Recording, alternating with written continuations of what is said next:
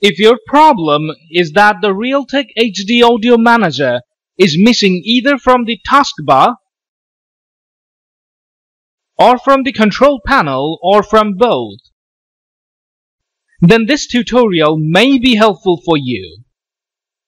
I've tried almost every solution I found on different websites and dozens of YouTube tutorials, but none of those worked for me. Even if I have Realtek High Definition Audio installed, yet the Audio Manager is missing.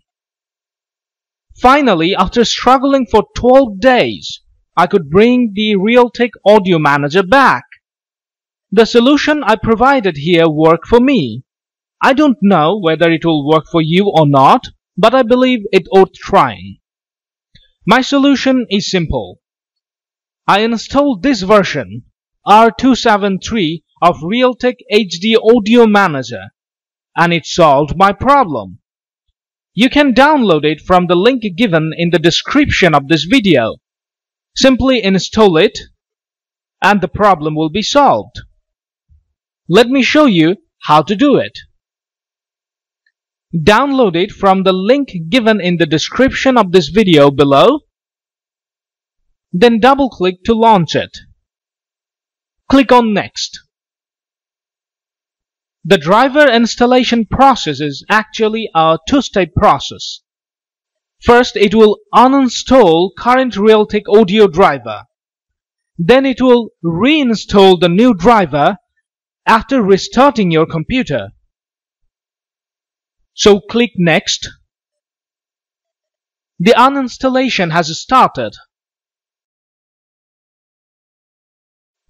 Once completed, choose Yes, I want to restart my computer.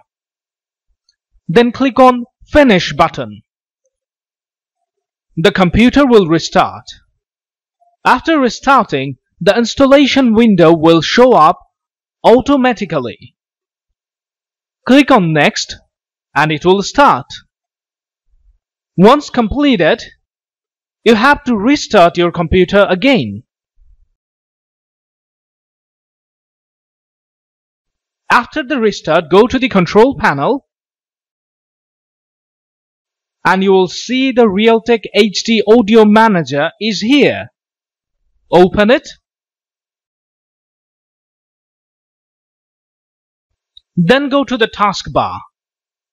Now you will get the Realtek HD Audio Manager here too. This is the solution that worked for me. I don't know if this solution is going to work for you. However, it ought a shot. Let me know if it worked for you. Thank you for watching.